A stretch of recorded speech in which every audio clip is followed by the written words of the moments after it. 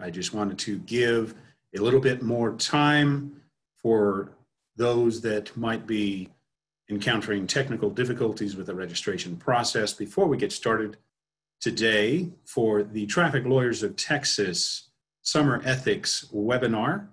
This is a bit of new ground for all of us, and we appreciate the grace being extended to everyone that is participating uh, remotely in this presentation. We're going to wait an additional eh, three or four minutes. It's by my clock, it's a little bit after 10 a.m. right now on Saturday, August 15th, 2020.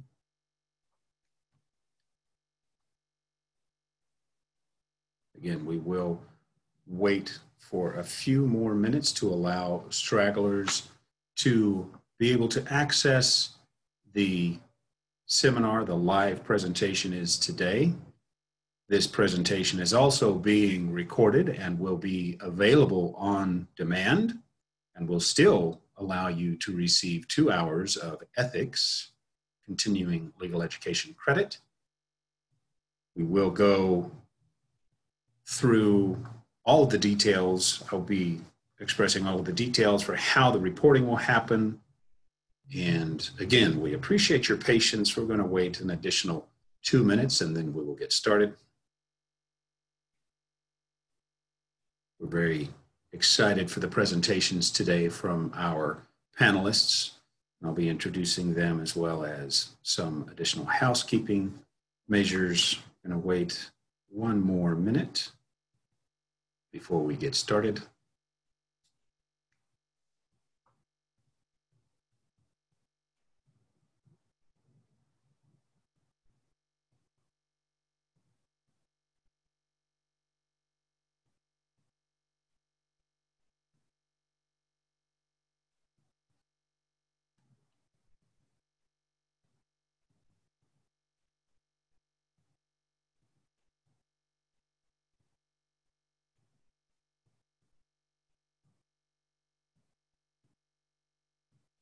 And again, thank you for your grace and your patience as we allow the technical issues to be worked out for those that have registered either this morning or right now so that you can participate fully in this presentation. It is now time for us to get started. Let me introduce myself. My name is Justin Holt. I am the 2020-2021 president of the Traffic Lawyers uh, Texas Bar Association, the only statewide organization focused on the unique issues encountered by practitioners in defense of Class C misdemeanor allegations in justice, municipal, and county courts. Traffic Lawyers of Texas has been providing continuing legal education seminars for more than 28 years, and we are pleased for you to participate virtually for the very first time due to the unique challenges we are all experiencing due to the novel coronavirus. This CLE is being recorded and will be made available on demand in the coming weeks for those participants that could not join us today for the live broadcast. The CLE course number for the live broadcast will be provided to you via email to the address you provided at registration at the conclusion of this webinar. If you do not receive the required information to self-report your participation in the CLE, please email me at traffic lawyers of Texas online at gmail.com. Again, that email address, all spelled out, no abbreviations, traffic lawyers of Texas online at gmail.com. If you are participating in the CLE on demand, upon completion of the CLE, you will receive instructions again via email to the address you provided at registration for self-reporting your CLE credit. Your registration fees today include this two-hour ethics online webinar, as well as access to the in-person conference with an additional six hours of continuing legal education to be presented in Austin, Texas we hope, in the first part of January 2021. And it will also include uh, a listing in the Traffic Lawyers of Texas online directory. Additional details and information for the January 2021 CLE in Austin will be sent to the email address you provided at registration. We will also make that information available at our website, which is trafficlawyersoftexas.org, O-R-G, all spelled out, no abbreviations, trafficlawyersoftexas.org, or on our Facebook page. If you are not already following us on Facebook, I would encourage you to go log into Facebook, search for Traffic Lawyers of Texas, and follow us so that you can have the latest updates. The board has decided to institute an update for the Traffic Lawyers of Texas online directory to better reflect our active membership and improve the resources available to our membership by inclusion in the online directory. Additional information regarding the directory update will also be sent to the email address you provided at registration. Today's CLE will consist of two presentations of approximately one hour each with time allotted for a moderated question and answer period for live participants. If you have a question for any of our presenters, please use the Zoom question and answer button, which should be at the bottom of your screen, anytime during the presentation to submit your question. I will do my best to address all questions and present those questions during the Q&A period to our panelists.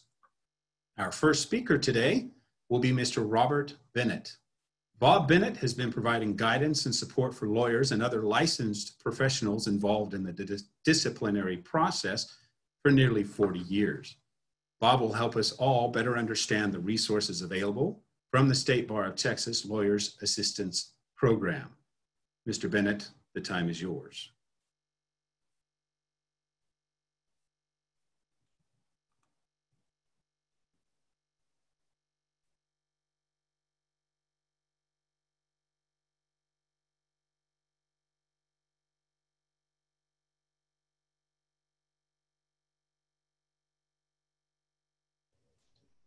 I'm unmuted now, and so um,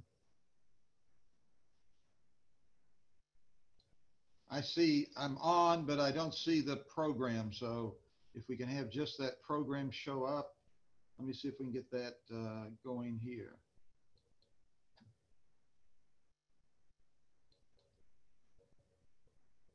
And I thought that we had the program, but it's not showing right now. So we're off to a uh, quick start.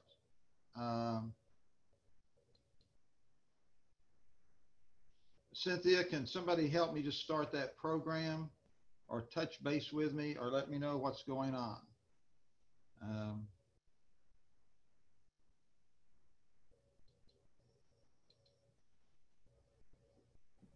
we have, I know, 24 participants who are uh, waiting. Uh, Bob, we show Yes. that the PowerPoint is on the screen. Okay, I can't see it though. That's, I guess that's the problem that I'm having with my screen. And um, I'll try that.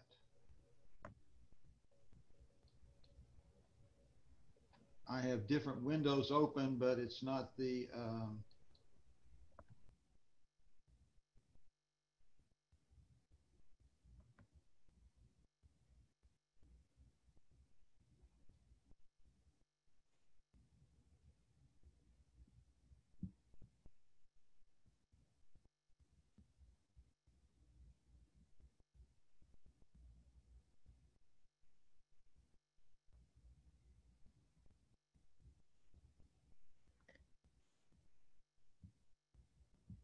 It looks like we lost Bob temporarily, hopefully. Um, let's give him a minute to get logged back in.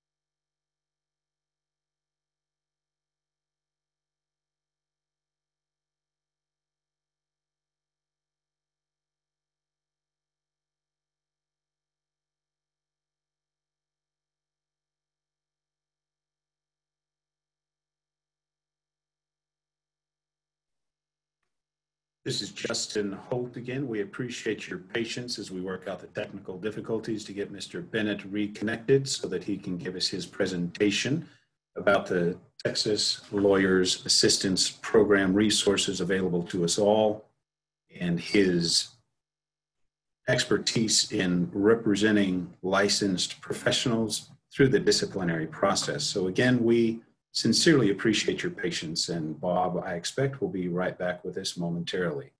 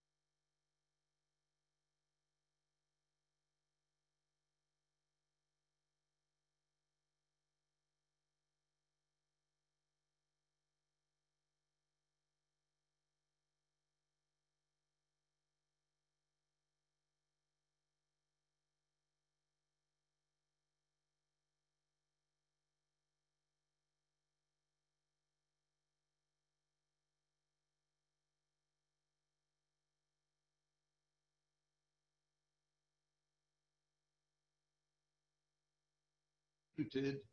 So let me, um,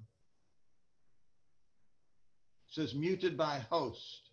I'm muted by host. So can people hear me now? Okay, I, I can see everybody. I, okay, so I'm gonna start my video.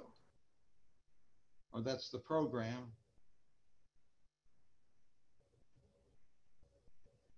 Okay, so I, I see that I'm on camera. I assume everybody can hear me, but I don't have the program up. So I need the program up. And I thought that um, Cynthia or somebody else was going to start the program. It's where we left it last. So do we know whether the program is going to be started or not?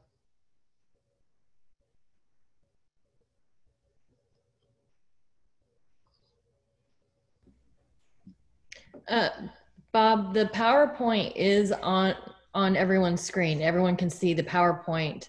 Um, Okay, but I can't, I can't see it. So what do I need to do to, I can sh- share screen? don't share screen. Okay, I'm not gonna share screen. Okay, I see one screen up on the far right. Can I click on that and go from there? Uh, yeah, maybe try if you see your video, try to click on the bottom right corner of your video. That might open the webinar window back up. Okay,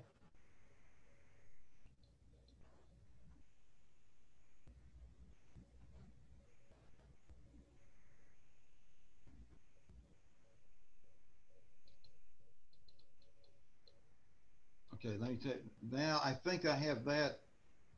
And I'll click here. There you go. Okay, so I it right now. Sorry for the delay.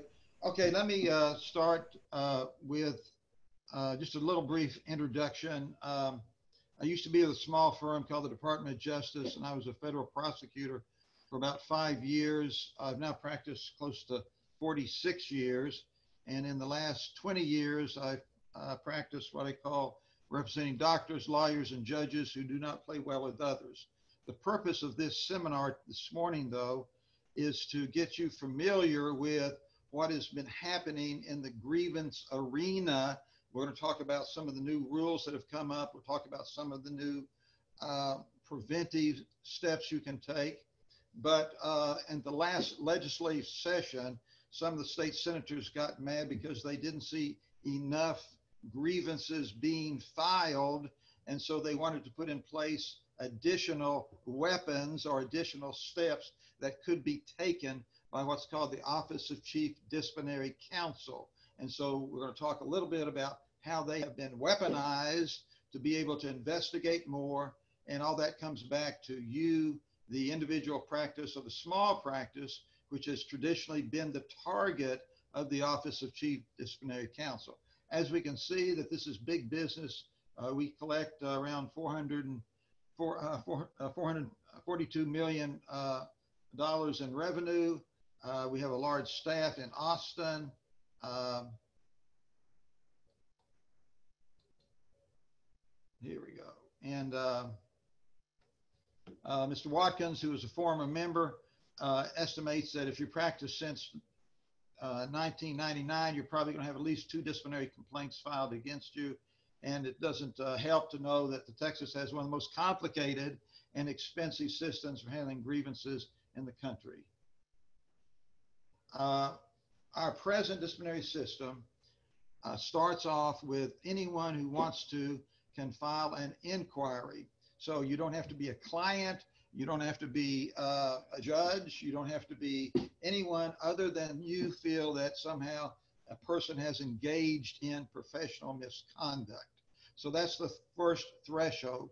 You just are, are a person from the street believe that there's been some type of professional misconduct and you can file an inquiry. Now, that goes to the Office of Chief Disciplinary Counsel, and then they decide whether or not they're going to turn it into a complaint. And a complaint simply as another threshold, which says, uh, would a reasonable person looking at this think that a violation has occurred? And that's all you need to get you to the next level to be investigated by the Office of Chief Disciplinary Counsel then you will get a letter from them saying, we think that you have violated the, uh, the rules, ethical rules, and uh, we, we need to have you respond. So the, the critical area and the most important area starting off and dealing with a grievance is this area when you're asked to respond to this complaint and whether they're going to turn it into the, I'm sorry, inquiry, whether they're going to actually turn it into a complaint. Now, uh, let me back off a little bit and go over a few ground rules here so that uh, I'll be sure to cover them uh, and we'll make sure that you understand some of the basics. Some of you have actually handled grievances. I understand that. Some of you may never had a grievance in your life. Some of you may be looking at a grievance right now. So there's some really good sources and I'll have it on this slide and make that available to anyone who wants it. But one of the first areas that you can go to for help with the uh, complaint that's been filed against you is the uh, ethics uh, uh, hotline. And we have that number as part of this, the ethics hotline. The people that man that are very good. They're very uh, efficient and they'll get back to you within 24 hours, if not sooner. You can't have your personal secretary or legal assistant or someone who is not a bar member call for you. They will only answer and talk to the attorney who calls them. But once you have them on the line, they are very helpful. Uh, they're not going to give you an advisory opinion, but they will talk to you. You can make notes and you can even send a note back to them just to memorialize that conversation. I had this question about my trust account. You answered it this way. I appreciate it very much. And then you have in the file uh, not a memo from them, but a memo that you made having talked to them. So that 1 800 hotline number is a indispensable and one of the best services the bar provides. Uh, they have now decided that there has been professional misconduct. Uh, they will investigate further. They'll ask for you to make a response. Once that's done, you will get a letter which says, we have found this uh, professional misconduct and you have the right now to have either an evidentiary hearing or you may go to civil district court. And going to civil district court is probably not the best choice. And the main reason for not going to civil district court is that if you take your case, take your grievance case to civil district court, you will not be entitled to a private reprimand. If you take it to the evidentiary panel, you then have the option uh, at least the, the panel has the option of giving you a, uh, a private reprimand, which is private and uh, is not supposed to be known by anybody. The uh, little uh, important for, fact you need to know, though, is that if the person who complains against you uh, find out that, and we'll find out that a private reprimand has been made, that private individual, non-attorney, can publicize that, and there's not a whole lot the bar will do about that. Okay, so this is the system in front of you dealing with how this process works. First is a grievance, it's classified then as a complaint. Um, you do have a right for voluntary mediation, uh, dispute uh, resolution uh, at this early stage. I have never found that to be really helpful, but that's one of the new procedures they use. Uh, also, the um, uh, Office of Chief Disciplinary Counsel has been authorized at any step along the way to try to reach a resolution with you. So if at any step along the way you think you can negotiate uh, with them and reach some resolution, probably not a dismissal, but you can take a private reprimand, a public reprimand, a, uh, a reprimand with probation, uh, you can uh, work out a disbarment if that's what you think is in your best interest. Uh, there is uh, also uh, a, a, program called the Grievance Referral Program. That's an excellent program. It's more of a uh, minor mis, uh, procedural mistake. You had a, a mistake in accounting. you really didn't communicate as well, but it caused no harm. And so this grievance program, grievance referral program, uh, is also a good program to get into because again, there's no record of that. Uh, and uh, uh, they will allow you to take some CLE, maybe be mentored, maybe monitored. it can't be an outrageous, outrageous situation or they're not going to allow you into the grievance referral program. But that's a program we try to get our clients into if we can negotiate that. Then you have your selection, as I talked about earlier. You can go through the evidentiary hearing or you can go to district court. It's rare that you would actually want to go to district court, uh, but we are the, the only state in the uh, great union that allows you a jury trial on a grievance matter. And if it's something that you think uh, a jury should hear, if it's, well, or if it's something you think you can get rid of by summary judgment. So uh, depending on the judge, depending on the slam dunk nature of the facts, and you think that there's good law supporting that, uh, then that might be an option to try to get a summary judgment in district court. On the evidentiary hearing, that's appealed to the Board of Disciplinary Appeals. And then with the district court, you appeal to the Court of Appeals and ultimately to the Texas Supreme Court. Now, let me see if I cannot advance this a little more.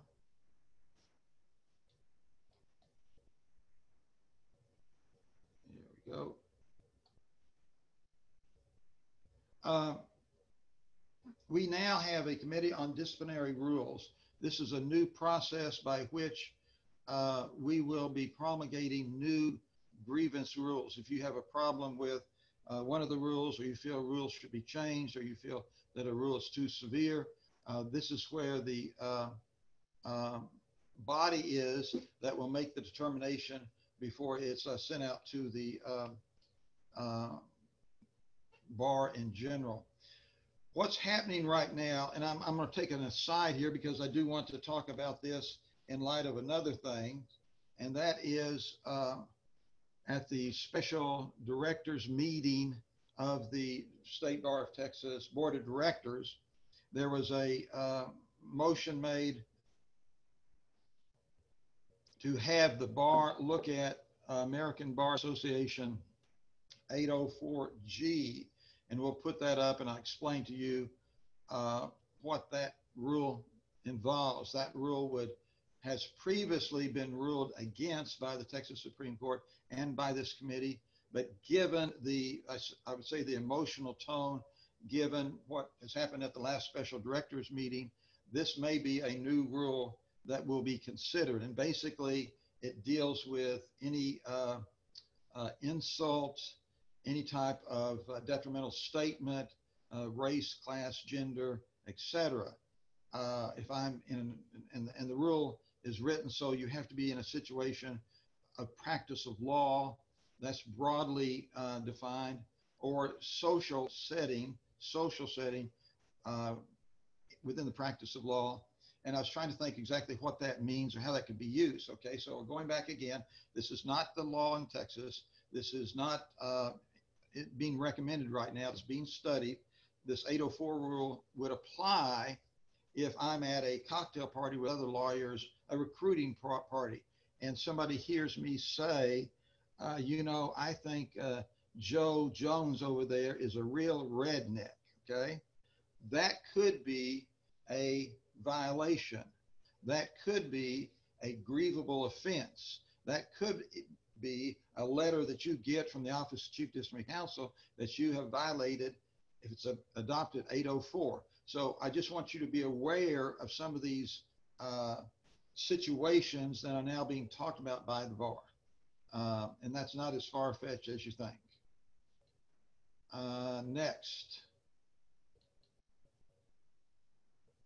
Uh, settlement authority. This is a new rule that allows the Office of Chief District Counsel at any step along the process to try to work out uh, a settlement with the uh, party who's been charged.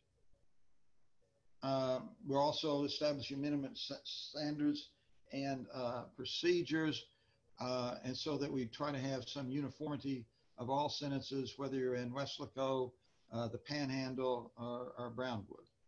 Um, we now have, and this is an interesting concept, uh, we now have an ombudsman, and it uh, happens to be an attorney that I believe is over in the state bar and this person will re review grievances, receive complaints about the system, receive and investigate complaints, answer questions from the public, assist members of the public wishing to submit a lawyer grievance. So now we've put in place, we've put in place a person to help our clients file grievances against us. Uh, this again grew out of the problems with the state legislature and the bar kind of bent over backwards and said, well, will you put an ombudsman in place to help people file grievances uh, against our members. I really have not seen this in action. I've called this person, talked to them generally about what they do. Seems like a reasonable person, but I'm just questioning the need that we really need uh, our bar dues going to the ombudsman to help somebody file grievances against us. Uh, maybe so. Uh, barratry. Uh, everybody knows what barratry is, the illegal solicitation of cases.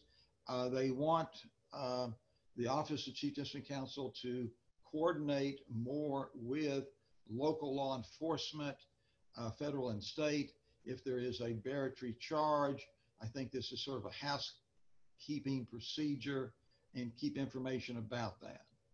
Uh, you also have self-reporting. If you charge with, with criminal offense in any area, state, uh, in the union, you're supposed to report that yourself. Uh, we now have a national lawyer data bank. I think some of you may be familiar with the uh, um, federal uh, data bank that deals with doctors. We're now having this with attorneys, and this is a new event.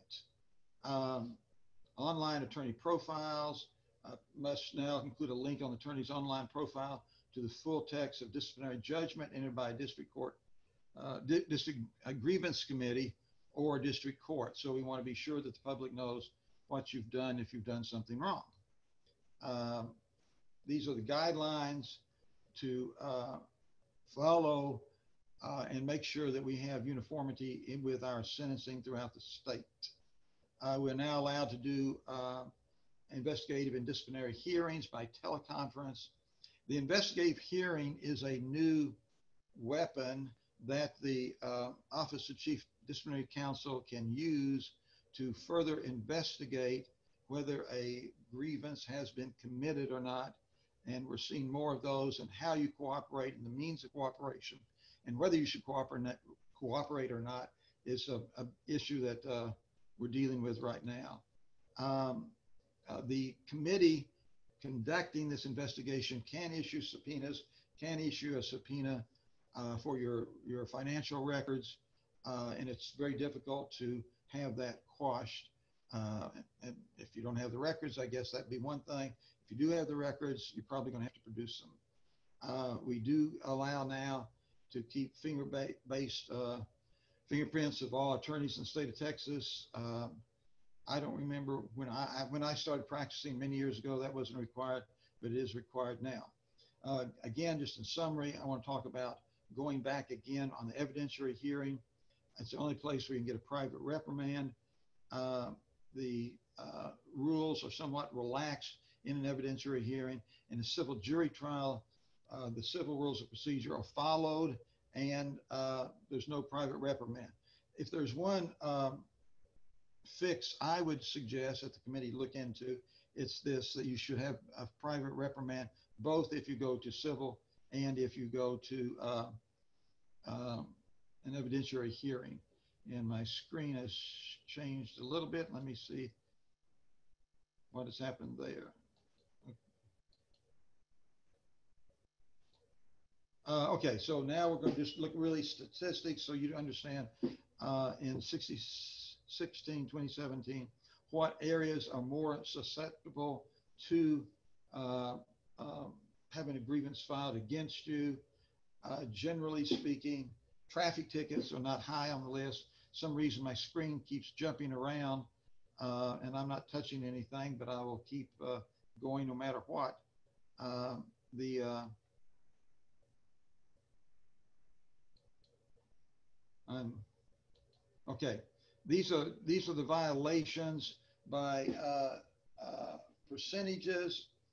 Uh, integrity uh, deals with uh, uh, bar admission is really one of the largest segments when we have people that falsify information.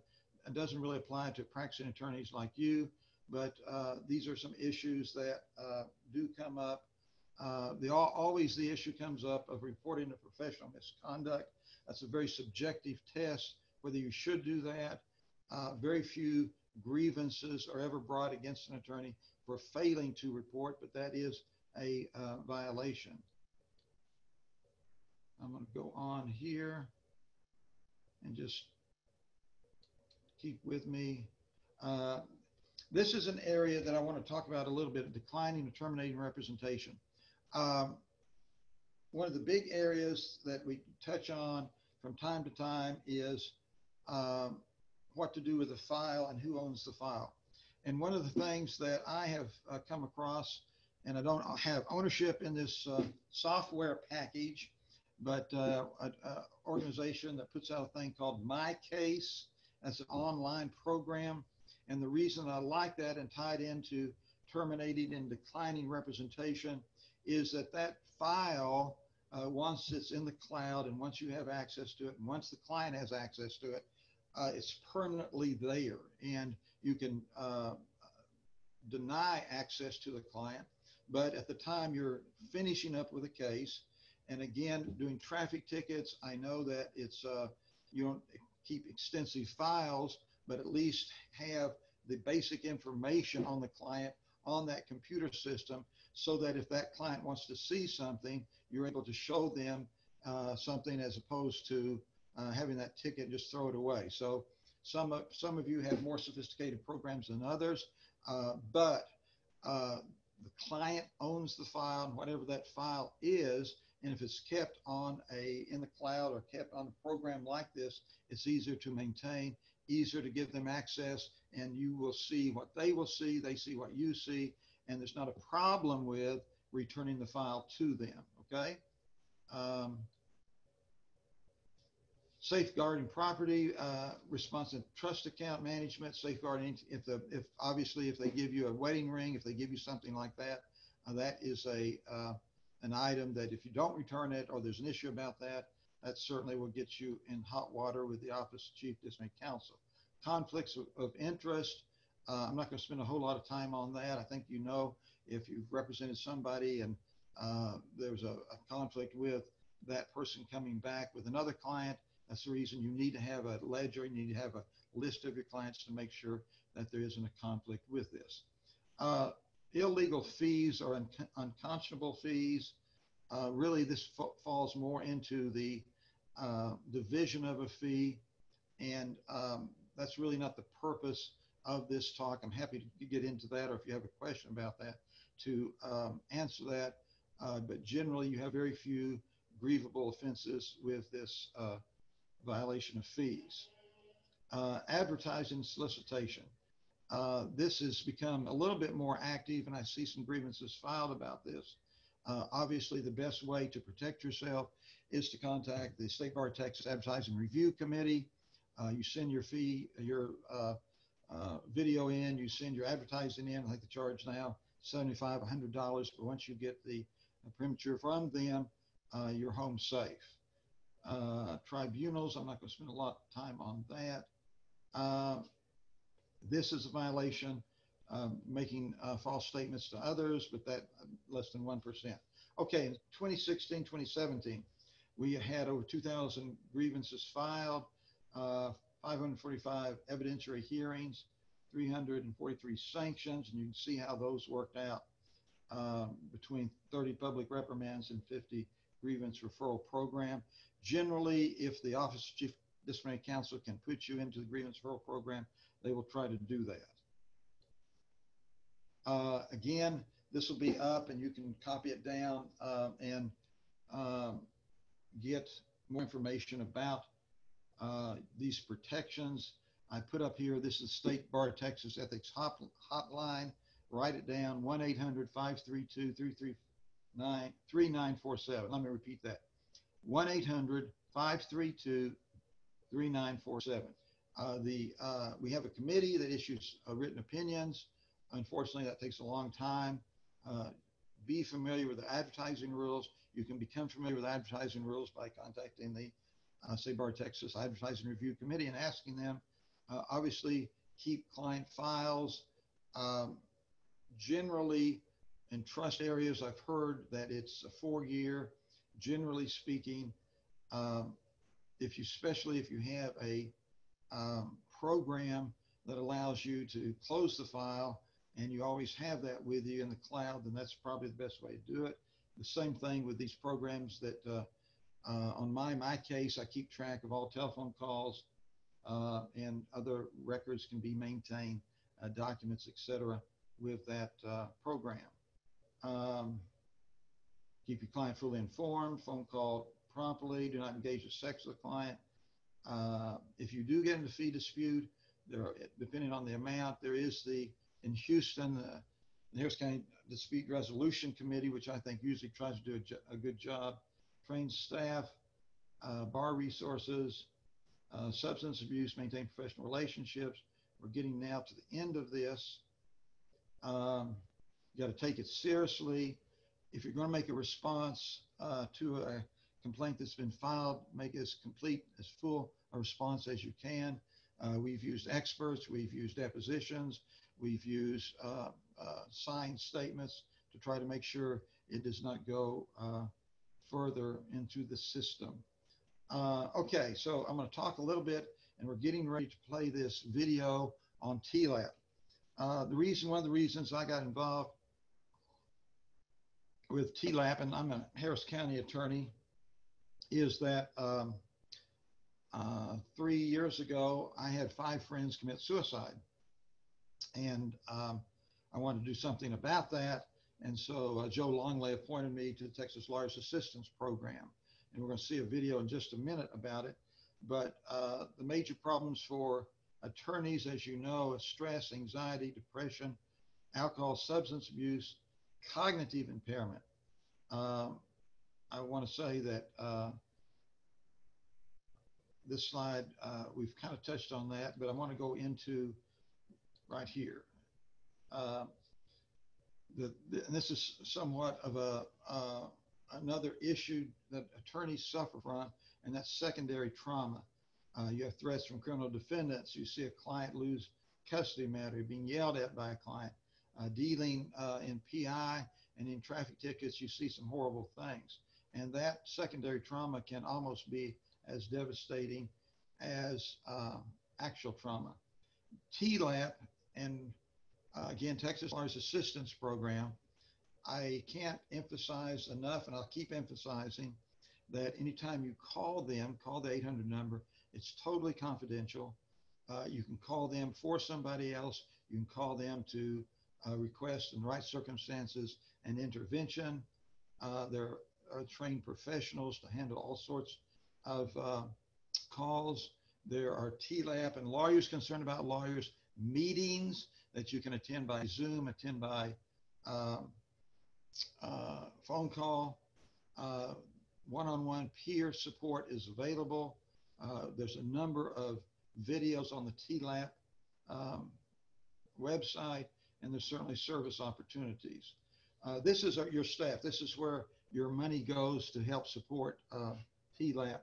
Uh, Chris Ritter uh, is an attorney who's gone through recovery. Is an attorney that got a master's degree in education. Is the uh, head honcho of, of TLAP and does a fabulous job. Uh, as far as I'm concerned, I wish we could duplicate Chris because uh, he has so many demands on his time uh, and does such a good job. Uh, Shauna is a licensed therapist who uh, is also available and does an excellent job on presentations. Erica Grigg is an Austin attorney who went through recovery, tells her story, helps others with their story, and is available to talk. And Penny runs the whole place and is a great um, administrative assistant. Um, take it seriously, prepare a thorough response. Uh, these are the, the uh, ethics hotlines. There's the Texas Center for Legal Ethics, Houston, uh, other, si- other sites on this, including if you really want to get into some of the nitty gritty of uh, ethics rulings, there's the Cornell University site. And um, final thought, I'm going to do one other thing here. We've talked about 804. I may come back to that. Are y'all ready now to show the video, the TLAP video? Can you hear me? So we're going to go now and watch this video, and uh, I'll come back after that.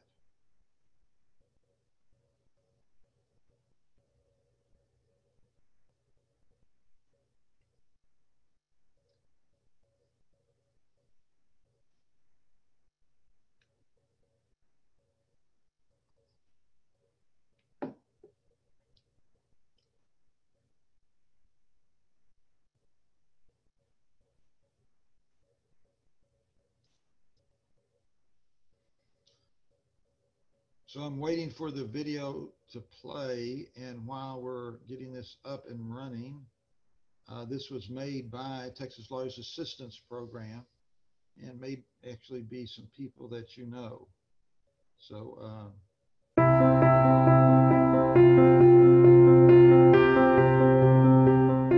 Practicing law in Texas is challenging, exciting, important, meaningful, rewarding, adventurous, giving, heroic, helping. Helping others is what brought many of us to the practice of law. But most attorneys don't know how to help themselves. Lawyers need help because practicing law can also be difficult, time consuming, intense, consequential, traumatic, serious, exhausting, stressful, overwhelming. Many lawyers will face challenges that will affect their mental health. 46% of attorneys deal with depression at some point in their practice. 28% currently suffer from depression. Attorneys also struggle with trying to self medicate these stresses. 21% of attorneys are serious problem drinkers. 32% of attorneys 30 and under have a drinking problem. When we suffer from anxiety, depression, or other problems, we can't do our best for our clients. And we can't be the person we want to be for our community and family. We're here to send a strong message to our legal community that it's time that we recognize one thing it's good to get help. Getting help is a big deal, whether it's getting help from a therapist, like many of us have done, or getting other kinds of professional treatment. Or getting connected to a 12 step group or a Lawyers Concerned for Lawyers support group. Finding a peer who has been through what you're going through is tremendous. Getting help can provide you peace of mind, joy, healthy boundaries, recovery, a process to overcome grief and depression, connection to others, resilience, support, encouragement, motivation, happiness. Getting help is a big deal. I've gotten it, and I am proud to stand for this message. Getting help has changed my life and made me the lawyer I am today. Getting help allowed me to stop wasting time stuck in my head and get things done. Getting help to stop drinking has changed my life. Getting help has allowed me to process grief. Getting help allowed me to manage stress. Getting help has given me a new outlook on practicing law. Getting help has filled me back up so I can continue to help others in my practice. Getting help has allowed me to find recovery. Getting, Getting help, help enabled me to quit drinking so I could be there for my dad. The Board of Law Examiners and the Chief Disciplinary Counsel in Texas agree it's, it's good, good, to, get, get help. help. Getting help shows that a person is taking care of him or herself. It's good to get help. We don't want to lose more members of our law family to suicide. TLAP is able to connect lawyers, law students, and judges to many resources and can even help them get funding through the Sheeran Crowley Trust for Mental Health and Substance Use Care. Not only do we want to encourage lawyers to get help, we want Texas law students to know from the outset that getting help is a good thing. What we learn in law school matters, and learning to get help when it is needed is fundamental to becoming a good lawyer. Getting help isn't something we should be ashamed of. It's something we tell our clients to do every day. Lawyers and law students aren't usually trained in how to manage mental health. Why would we think we can solve those problems alone? It's good to get help. For a profession that carries the worst burdens of our clients every day, practicing law can become overwhelming. We need to fill up, and we need to know how. We did, and we urge you to do the same, without shame. It's good to get help.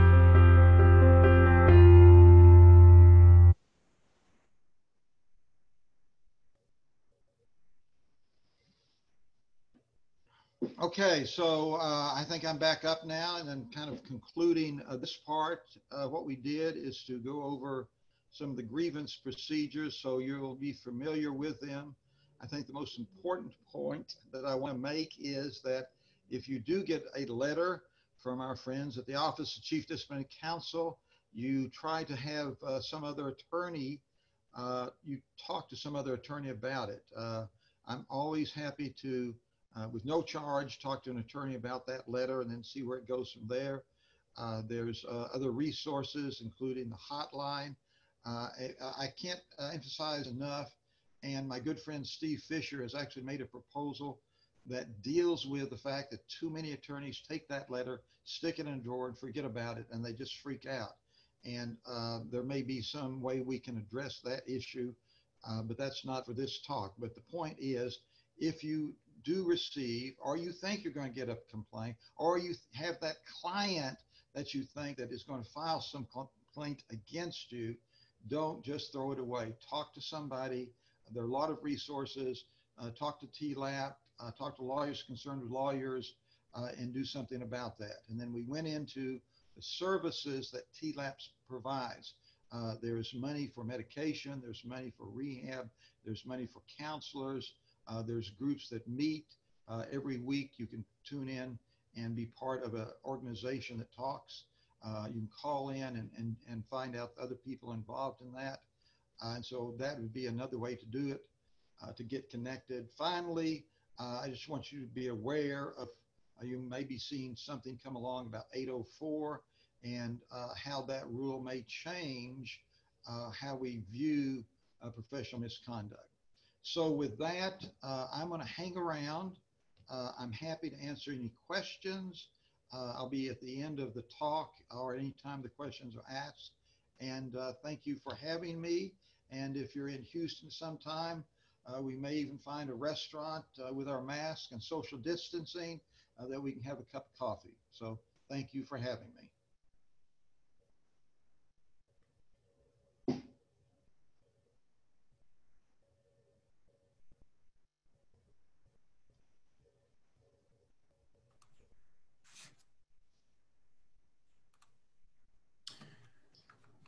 Thank you, Mr. Bennett. We very much appreciate your presentation. For those that would like to address questions directly to Mr. Bennett, he can be reached at his email address, which is bob at bennettlawfirm.com. That's B E N N E T T lawfirm.com and on his website at bennettlawfirm.com. And we appreciate your presentation, Mr. Bennett. As a reminder, the resources identified in Bob's uh, materials are available online at TLAP helps, that's all one word, T L A P H E L P S dot O R G, and at the State Bar of Texas Office of Disciplinary Counsel online. Bill Puett acted as legislative lobbyist and liaison for the Traffic Lawyers of Texas Bar Association from our inception, and after 27 years, Mr. Pewitt retired from his position as our lobbyist last year in 2019 we are very excited to establish a new relationship with the Texas Star Alliance. Eric Newstrom serves as legislative counsel for Texas Star Alliance. Eric has more than 20 years of legal experience in ranging from litigation to legislative drafting. Eric is an expert in legislative drafting and research and works with legislators, stakeholders, and legislative counsel to craft meaningful legislation to bring policy into practice. And as all of you well know, Texas is uh, every other year legislative um, assembly meeting, and we are in a legislative year. And at this time, I would like to introduce Mr. Newstrom. Eric, the floor is yours. There we go. Hello. Y'all should see me in just a moment.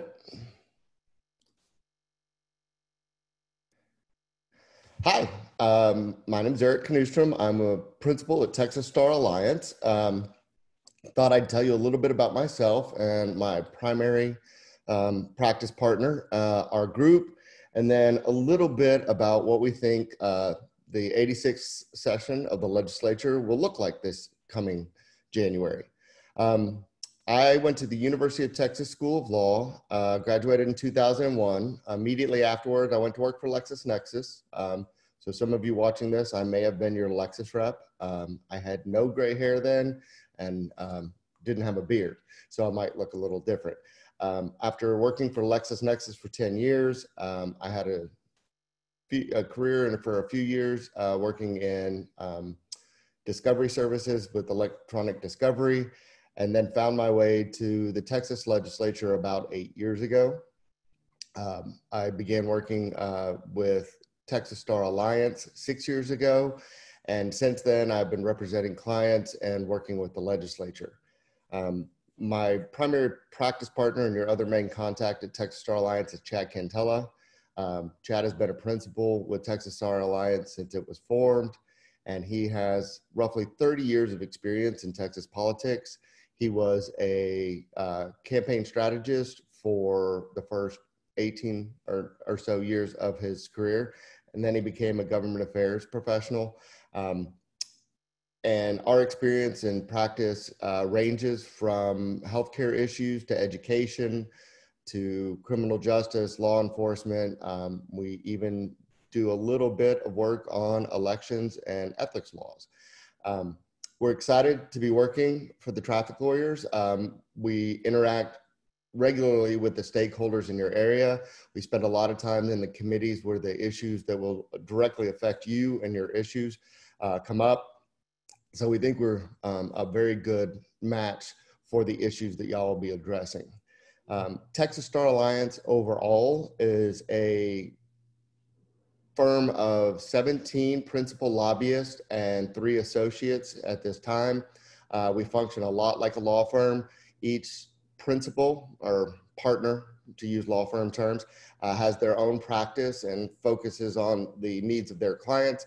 However, as a group, we do fundraising, we do campaign meetings. We are completely bipartisan and agnostic when it comes to party. Um, we do work with every single office. Um, some of our principals have worked for members of the legislature, some have been members of the legislature.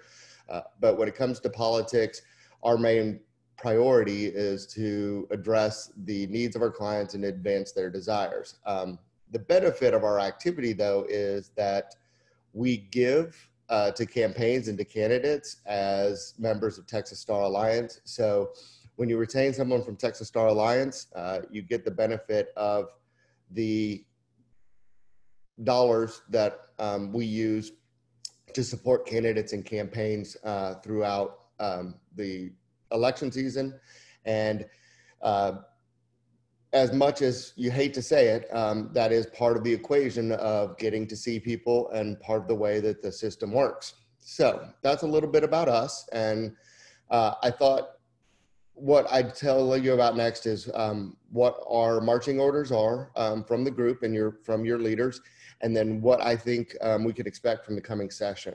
Um, primarily, what we'll be doing for y'all is monitoring the legislature, uh, meeting with other stakeholders, and trying to understand what the landscape will be um, for bills and policy changes that could potentially affect your practice as session goes forward. Um, we've already identified a couple measures that members are talking about filing um, and having bills on the table um, that will affect you. And what we'll do when session starts is make sure that we're tracking those bills, informing um, your board and having them let you know what's going on.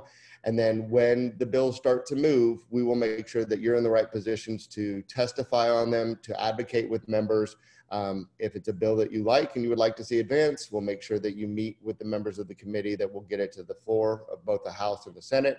And if it's one that we think is bad legislation that shouldn't advance, we'll do the same to make sure that it doesn't go forward. Um, before the pandemic struck, um, people had already dubbed the 86th legislative session as the criminal justice reform session. Uh, there was quite a bit of momentum behind federal criminal justice reform from the current administration, uh, aided by celebrities.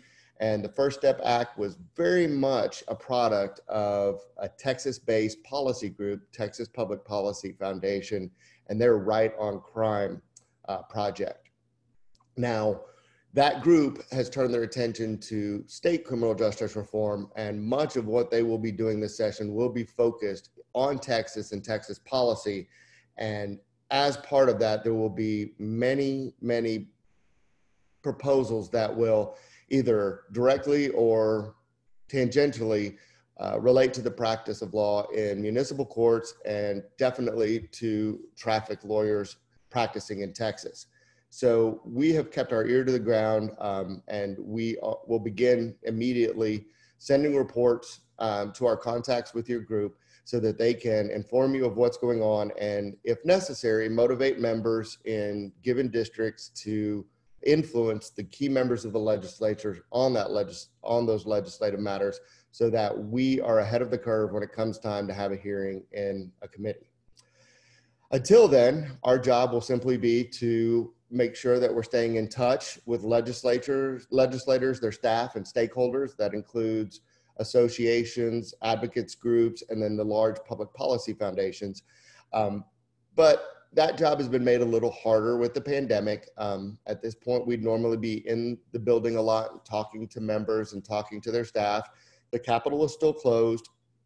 Um, all meetings are happening over Zoom. And so we're spending a lot of the time in front of our computers. Um, we're spending a lot of the time on the phone talking to people about what their plans are and, and how exactly session will go.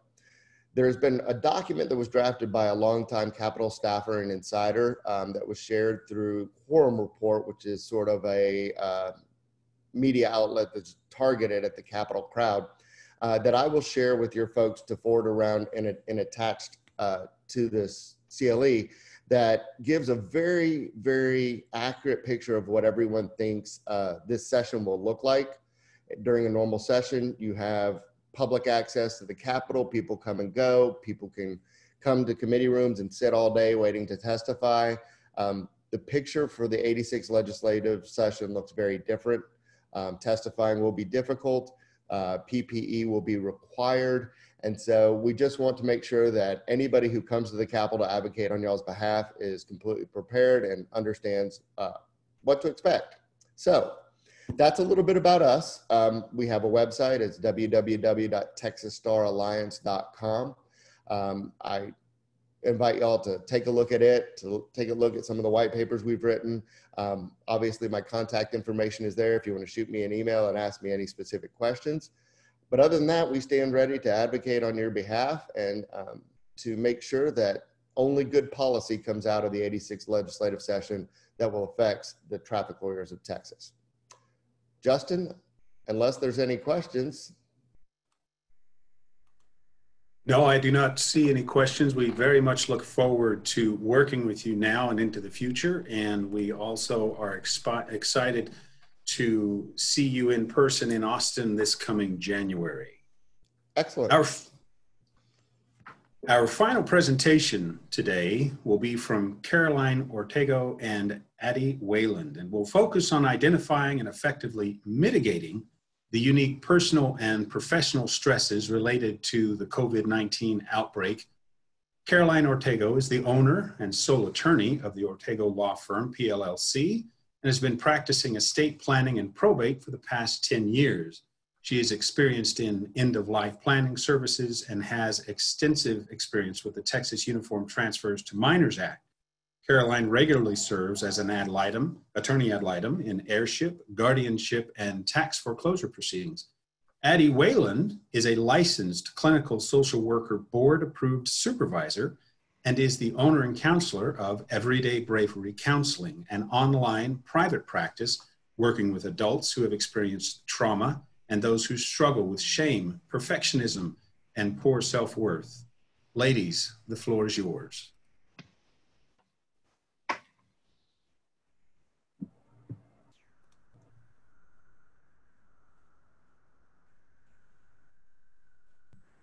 I don't see our PowerPoint up, but oh, there it is. I think it's coming up. Here it is. Can you guys? I don't think you can see me. Yeah, I can see you. Oh, you can. Okay. Yeah. Um, all right. Thank you so much to the Traffic Lawyers of Texas for having us today for this presentation. Um, the inspiration for this presentation was my experience with my clients this year.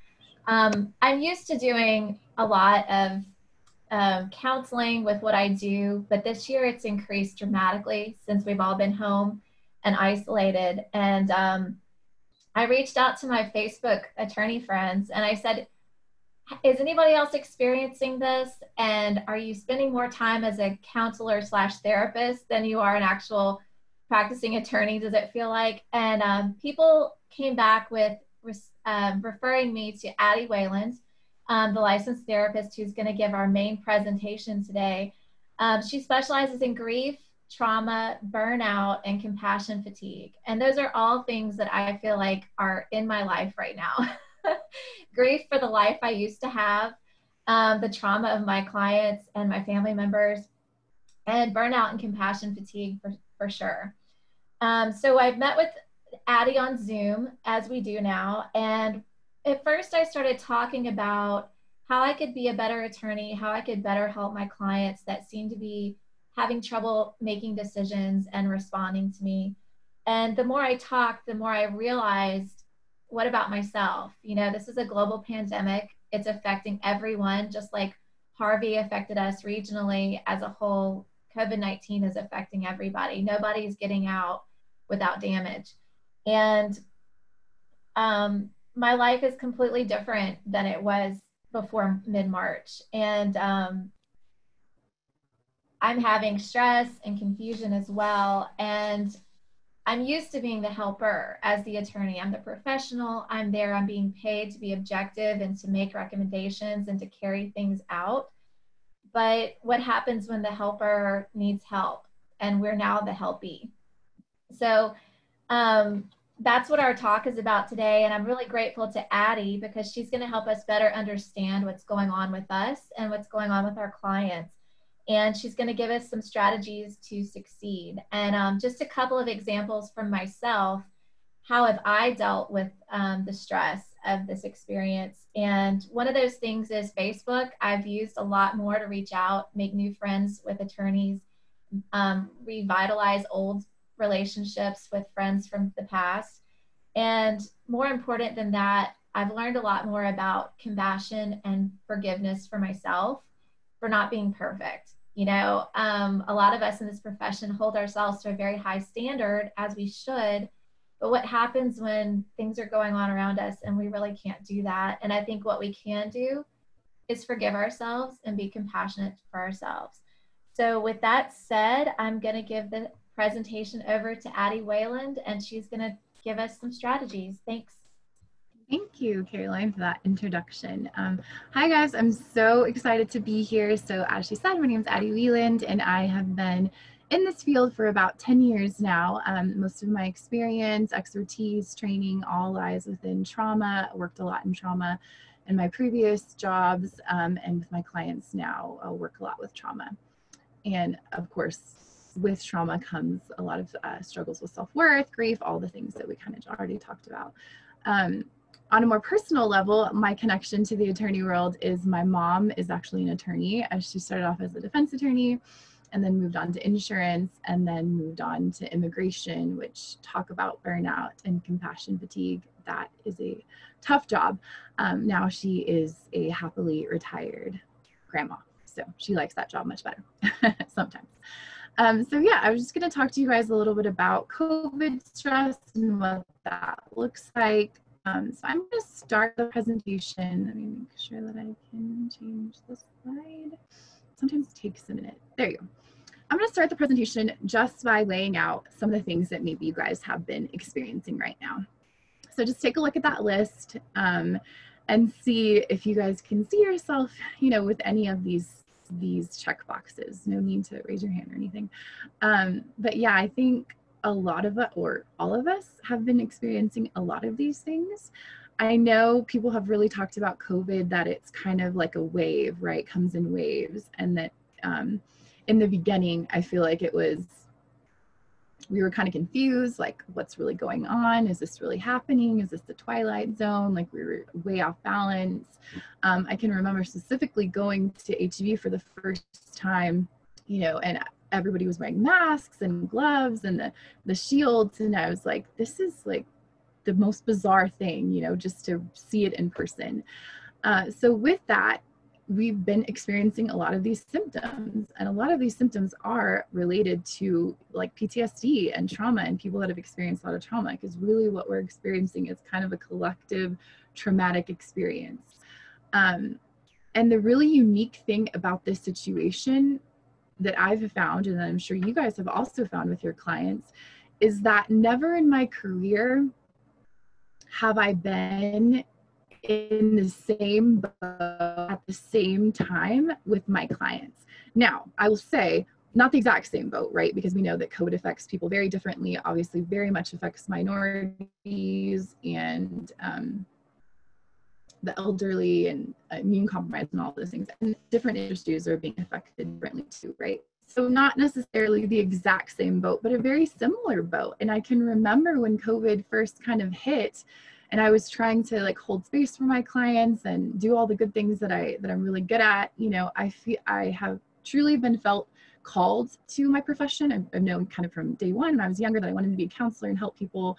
And never have I ever questioned my career ever until COVID. Seriously, I remember going to my husband and just telling him like, man, how am I supposed to hold space for all these people when I can't even hold space for myself? You know, I can't even really help myself right now.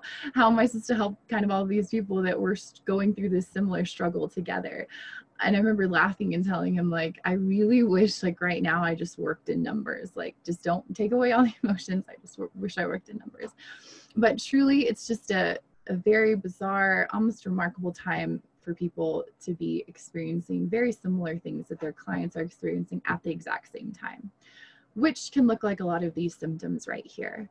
Um, and I think kind of to speak what with what Caroline was talking about, the important thing is I think when we think about kind of all of these symptoms and the things that we're experiencing with COVID, is yeah, just to kind of give ourselves a little a little grace, right? Um, to kind of be able to work through this big pandemic.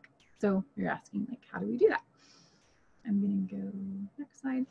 Okay, so this is uh, the arousal continuum. I am super, super into the brain. That's like another kind of passion uh, subject for me.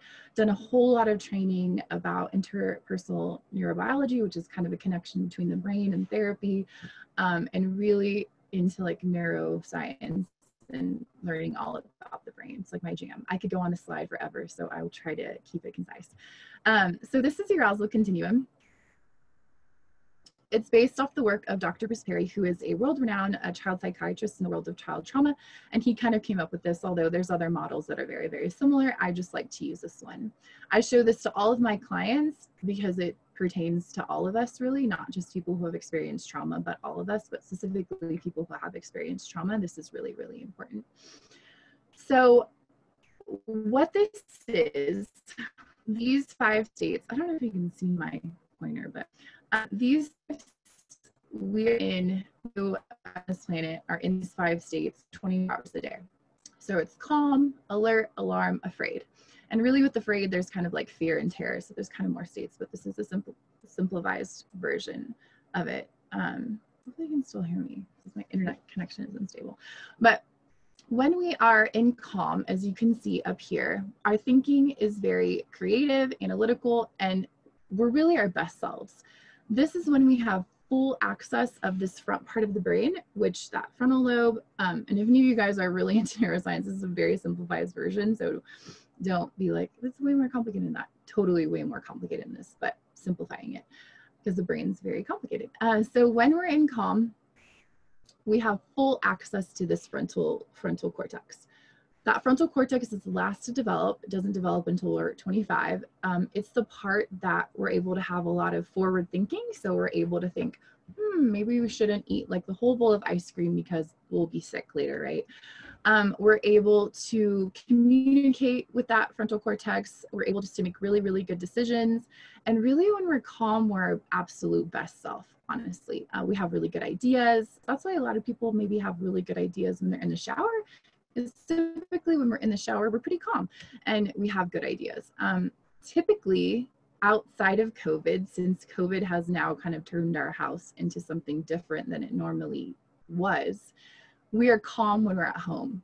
If home is a safe place, which we know that not for not everybody, home is a safe place, but if home um, is a safe place for you, before COVID, you probably were able to be calm there, relax, you know, kind of get that calm state. Now with COVID, it's even harder to kind of access that calm because home isn't necessarily a safe place, right? Home is where we work. Maybe it's where we homeschool our kids. Don't even get me started on that topic um, home is just lots of different things for us right now. So it might not be the safest place right now. And really to access that calm, it might be a specific place in your house, right? So maybe the bathtub, um, maybe your bed, maybe uh, outside that might be able to access calm. But really it's, it's changed. Usually we can feel calm when we're at home and that looks differently now when we move down the continuum, so when we go out and about on our day, go to work, um, do certain things, we move more into that alert. So our thinking is a little bit more concrete and because we can't just totally totally be like zen when we're out and about right we have to kind of be paying attention doing all these things it gets more alert for the majority of people um, normally pre-covid you would spend most of your time in alert unless you have experiences of trauma, which I'm really not going to get into today. But that would kind of be your baseline would be alert, access and calm when you're home. Um, then I forgot to say, it takes seconds to kind of move down the continuum. So if you think about like a near car accident when you're driving your car down the road and you almost run into somebody, it takes seconds to move down to like that afraid, that fear, terror, like, oh my God, I almost got in a car accident, like freaking out. Um, and then it takes a much longer time to get back to calm. So usually it's not like seconds and you're back at calm, right? It takes mm, maybe your whole ride, car ride home sometimes to like access calm and feel calm and like relaxed and all that good stuff. So seconds to go down, it takes a while to come back up is important to remember. And we kind of move up and down the continuum based on things that are happening in our environment. Uh, and right now, normally, you know, things that might not trigger us are probably even more triggering now because of COVID. So we might be moving down the continuum more often than not just because of everything that's going down, going on right now. And I would venture to say that a lot of our baseline is not really alert anymore, but kind of more that alarm state and maybe between alarm and, alert and alarm because of everything that's going on and we just can't catch our balance. We can't access calm as much as we can, right? So when we're in that afraid state, our thinking is on reflex. We have really no access or very limited access to our thinking brain, and we're fully back in the brainstem.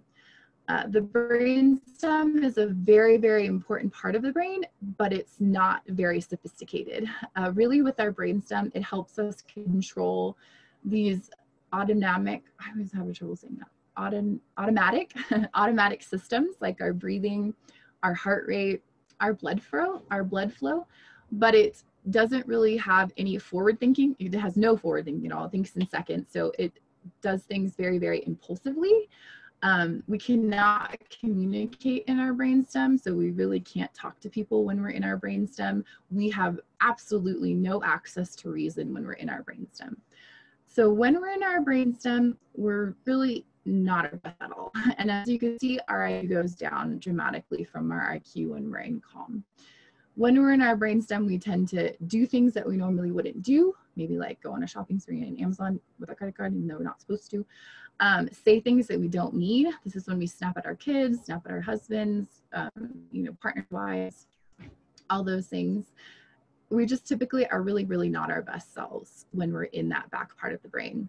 And the more that we stay there, the harder that it is to come out. Uh, so normally we're supposed to kind of move in between the states naturally, right? Like we're going about our day, we start at calm, we get more alert when we're on our way to work, maybe something happens, pushes us to alarm, we get more alert, all of that kind of stuff. We kind of move up and down. You know, the tricky part with COVID, which I'm going to show you guys in the next slide, is that it's just hard to access that calm like I was talking about. So we typically tend to stay a lot in those lower states, which basically we're just not really our best self in those states, right? Um, and it's kind of like a mindset switching from living to more kind of that survival mode. So a really huge thing is just to practice lowering our expectations when we're kind of in these modes. And one quick thing you might be asking, um, how do I know which state that I'm in? Like, how will I know exactly? The best and easiest way to know is to get connected to your body. Your body is always going to tell you first because our body knows first before our mind can catch up. And a really good example of that is when we're about to touch um, or we touch something hot and our hand recoils instantly really quickly before our mind says like hey dummy don't touch that right? It's hot. Um, our body is going to tell us. So a really good exercise that i have a lot of my clients do is hey just map out your body how your body feels in each of these states. So when you're calm what do you kind of notice about your body right? Probably your shoulders are a lot more relaxed your face is not as scrunched um, your breathing is normal or even like very deep breathing, you'll you'll know you'll really know how your body feels. Maybe alert. In between the states, there's going to be probably small nuances between that in terms of how your body feels, but definitely between calm and afraid, you're going to know, right? Your heart rate's going to be super, super fast. Your breathing's going to be shallow, or you might be holding your breath um, you'll definitely know by paying attention to your body when you're in that afraid state versus that calm state. And so paying, just kind of getting more in tune to your body is going to help you figure out which state you're in. So that's a really good exercise to kind of help you figure figure that out. And I'll talk more about the body in a little bit. Uh, so hopefully that makes sense to everybody. That's kind of just a really quick way about the arousal continuum. And what I was talking about in terms of uh, COVID and why it's been why it feels a little bit different is because of this. This is also another slide from Dr. Bruce Perry. He talks a lot about this. So stress is normally sort of a good thing when it comes to how much it is, how intense it is, and how much we get breaks in between, right? So uh, normal everyday stress that you might experience at work, at home, that's pretty predictable, pretty moderate, pretty like bite size that you can manage it that helps push us right? That helps motivate us to like get things done. That helps encourage us. Um, it can be a good thing in small doses so it can kind of lead to resiliency. But when we come to the stress that we're all kind of experiencing right now because of covid and all of the aspects of our life that it's affecting financial physical emotional mental um, you know everything everything it's very and talk about unpredictable right? Like in terms of we don't know when it's going to end and so many different questions no end in sight uh, pretty severe stress it's constant. That is what leads to a lot of vulnerability and our bodies are not made to be in that afraid state for long. We're just not built for that. And if we are in that afraid state for long what happens and you might be noticing this yourself is that our body tends to shut down in order to protect us. Because it has to like conserve energy somehow right? It cannot be go at that state of alarm for so long. So this can look like i feel like a lot of us might be in this state right now because we're just over it right? We're just over all of it. Um, but it can feel a lot like apathy you know numbing overwhelmed, despair, um, just a whole lot of numbing, I feel like is happening right now for sure. And numbing just can be with anything. It doesn't have to be with alcohol and drugs. It can be with work. It can be with Netflix. It can be with ice cream. It can be really with anything with excess was what we kind of like numb where we don't focus so much on our feelings and just kind of numb our feelings and pretend that uh, nothing's happening. So that is why COVID feels different than maybe normal everyday stress, even like intense stress, because typically that has like an endpoint and you know we have been in it for a long time with not a real endpoint in sight. So I think that is why COVID feels very differently right now. So then you're like, great, Addie, I'm in afraid. Uh, what do we? What do I do now? what do I do to kind of help myself access that calm? I'm going to tell you. So if you forget everything that I talk about today, I really, really hope that what you, one thing you take for this is the three R's, which is another uh, Dr. Bruce Perry thing. He really uh, talks about this a lot. I use this all the time in session with myself, everybody. So the three R's are regulate, relate, and reason. and when we are in that afraid state, we want to do things in sequence.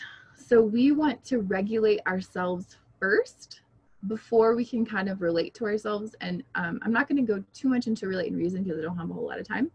But relating is more about being kind to ourselves, kind of what Carolina was talking about, being self compassionate to ourselves. Um, if you're interested in that, I'm actually doing a four part series on self compassion on my Facebook page, but I'm not going to go into that today but relate is being more kind to ourselves relate is being able to connect with others.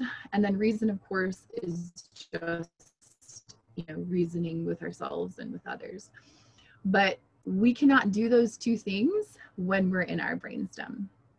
So when we're in our brainstem the only kind of thing that it understands at that time when we're in that afraid state fear and terror is regulation the brainstem does not care, does not give to, you know what, about reason. It just doesn't. It just doesn't care about reason. So if you've ever experienced a panic attack or even really, really strong anxiety, which we're probably all feeling right now, you probably um, can relate to this. So when you're in that, uh, when you're having a panic attack or high anxiety, and if somebody's around you or if you're by yourself, typically what people try to do because they're not aware of this, which is totally fine. When we know better, we do better, right?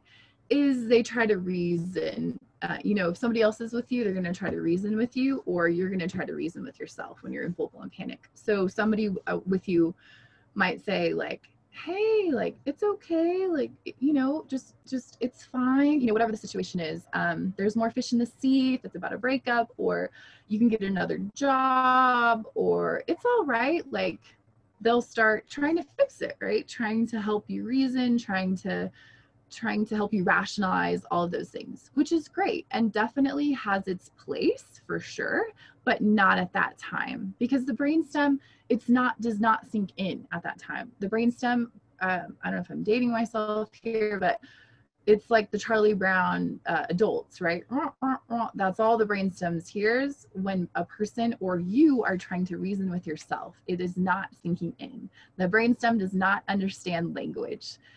And you can even, if you guys have um, toddlers, I have a toddler. so if you have toddlers, you know this because when they're throwing that full blown tantrum and you're trying to like talk to them, guys, just stop. it's not sinking in, right? We have to kind of regulate them first. It's the same thing because we're kind of in our toddler brain when we're in our brainstem. So, brainstem does not understand reason, which means we cannot reason with ourselves or others can't reason with us when we're in that state to help get us access to calm. What it does understand is regulation. And so you might be saying, well, what the heck is regulation? Regulation is super, super simple very simple. You guys gonna be like, are you serious? Anything that is rhythmic and repetitive is gonna be regulating and soothing to us. So anytime you can bring rhythm into your life, it's going to be helpful for you. And you probably already do without you knowing it um, because we naturally kind of just lean towards those more rhythmic things and you might be asking, well, why is rhythm? I don't understand. Like, why is rhythm so important? And this is just a total tidbit aside because I think it's so fascinating. But the reason the reason that rhythm is so important is it has to do with when we were in our mother's womb. That's where we all started, right? When we're in our mother's womb, that's the safest place we'll ever be. We were the perfect temperature.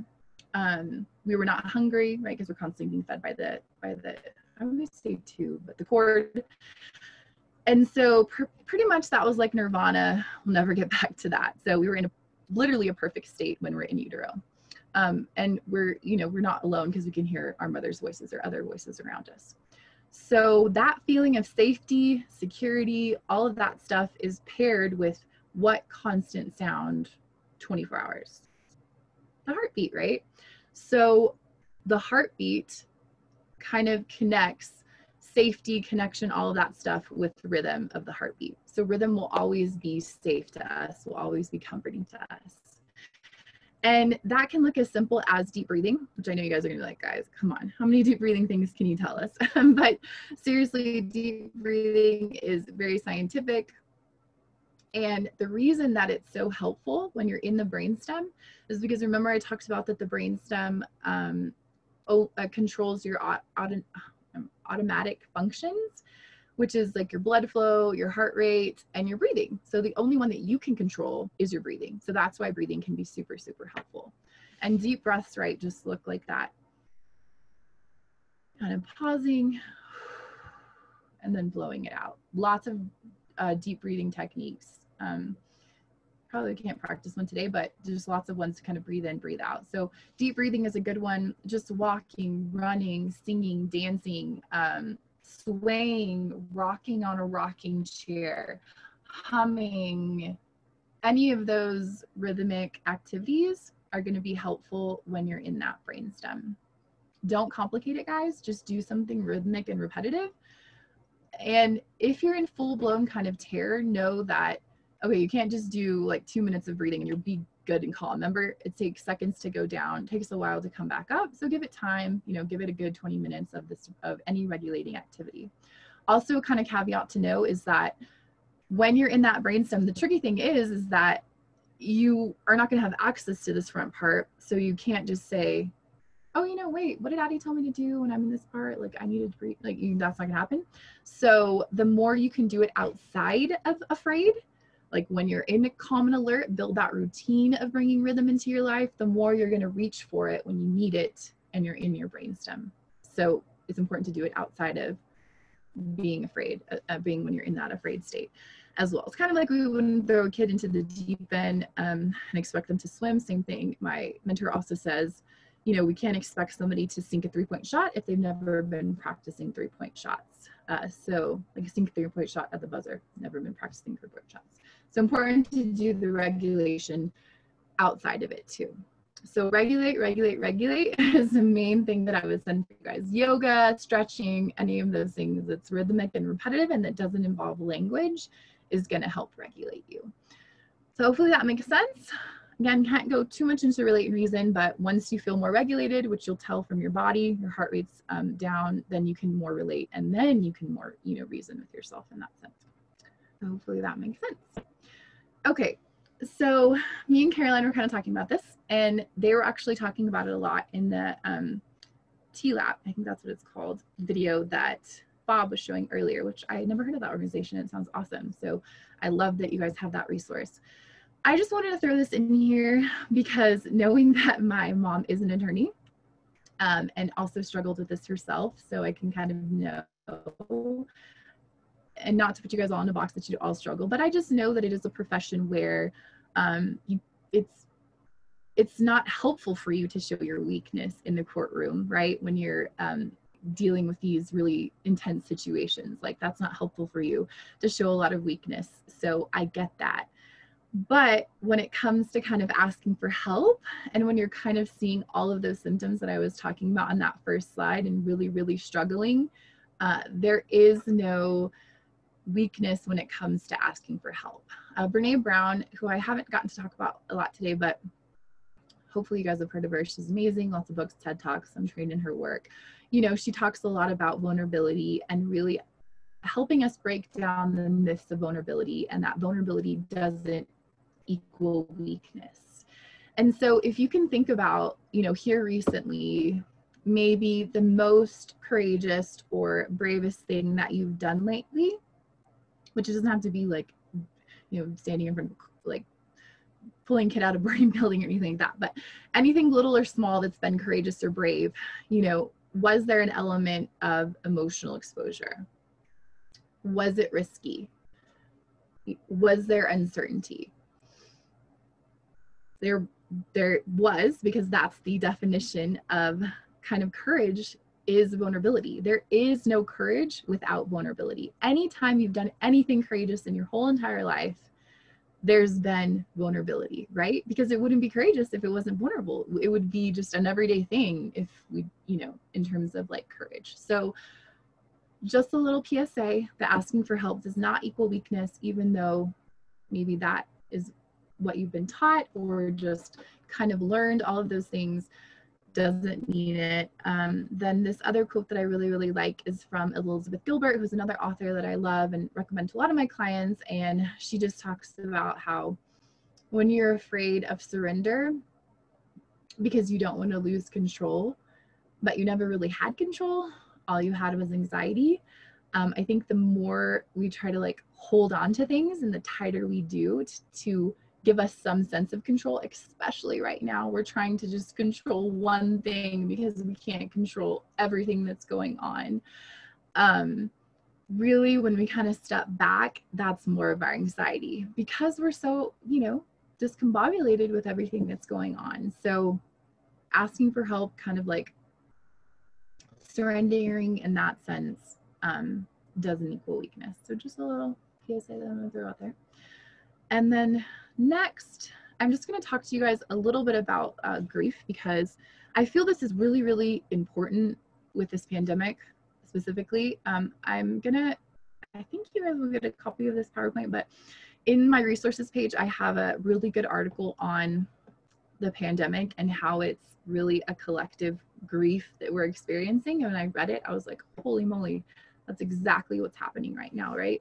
Kind of what Caroline was talking about earlier it, this is grief for sure, right? It's a collective loss of the world that we knew.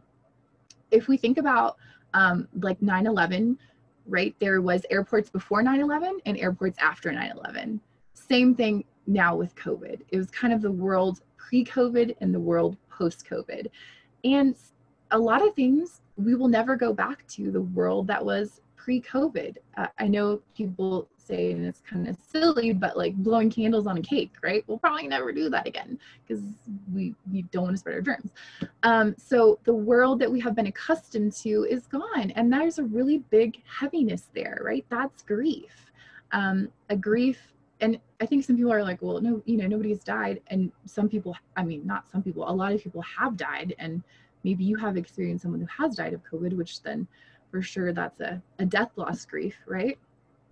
But outside of that, there's also like death of relationships, death of jobs, um, loss of physical touch, which is huge. Uh, you know, death of like gathering for worship if that's your thing, or meals, or death of so many, so many things.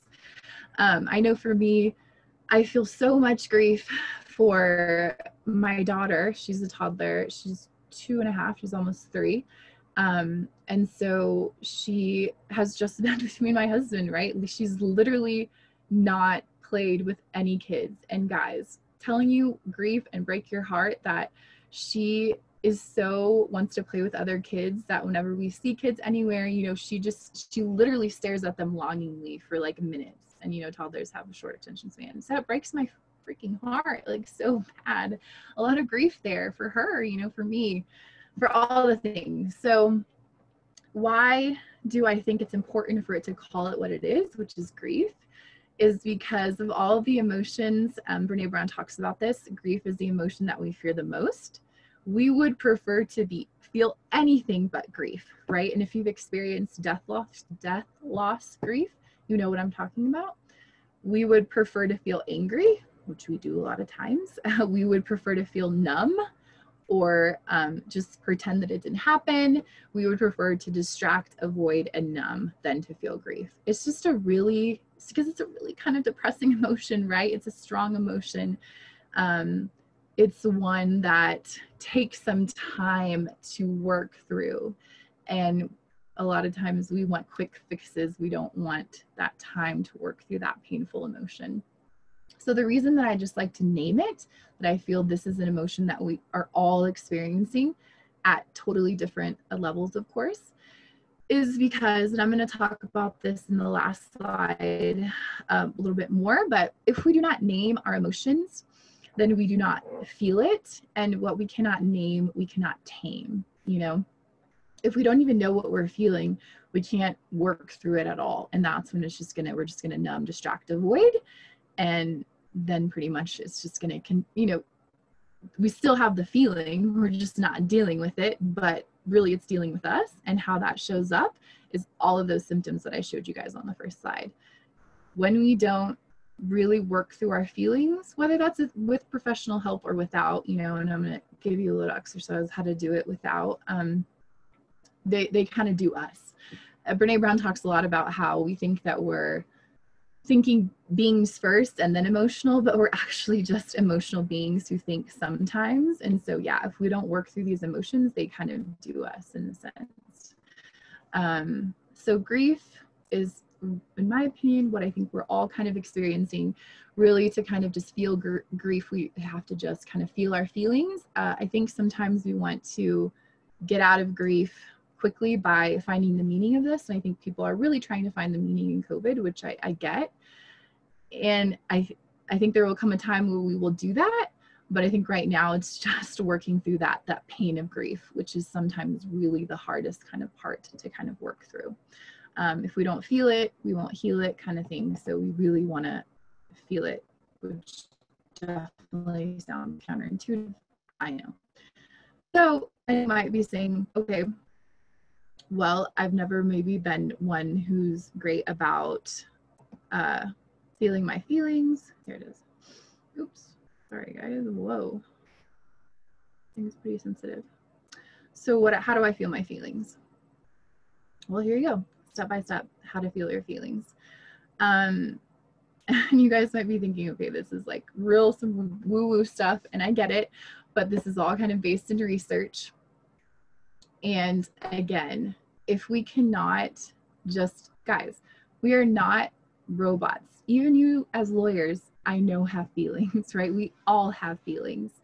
So the more we can just acknowledge them even though they might be really scary, I promise you that simple practice can give you a lot of relief. Trust me. I have so many clients that come in and um, don't know how to identify their feelings, and I kind of work them through this exercise and encourage them to practice, and it gives them so much relief.